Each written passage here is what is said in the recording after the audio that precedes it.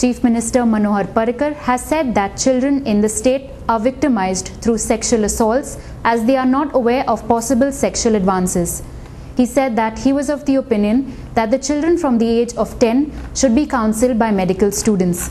Speaking to media persons in Panjim on Thursday, Mr. Parrikar said that most of the children in the state are sexually assaulted as they are not aware of sexual advances by males. He said that children come to know about it late and said he was of the opinion that the children should be sensitized from the age of 10, preferably by medical students. most of the sexual offense is taking place because our children are not uh, uh, aware of uh, the possible sexu- sexual advances. They are not aware of it.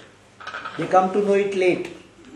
I'm not saying you teach it to seventh standard, seventh uh, year, but you can uh, definitely start sensitizing 10, 11, 12, then slightly make more aware 13, 14, and maybe 15 you should uh, teach everything. We realize that older generation who comes and give lectures in schools and higher secondaries are of no use because most of the students are reluctant to ask questions.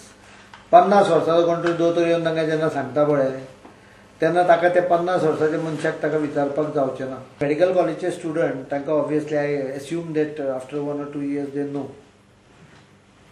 at least they they can explain properly so that group is an group or special counsellors will have to be that opinion does not mean government decision don't mix up the two issues होच problem जाता तो हांव अनेकदां म्हणजे opinion सांगता तुमी ते government decision म्हणटा Not every opinion of mine is a government decision.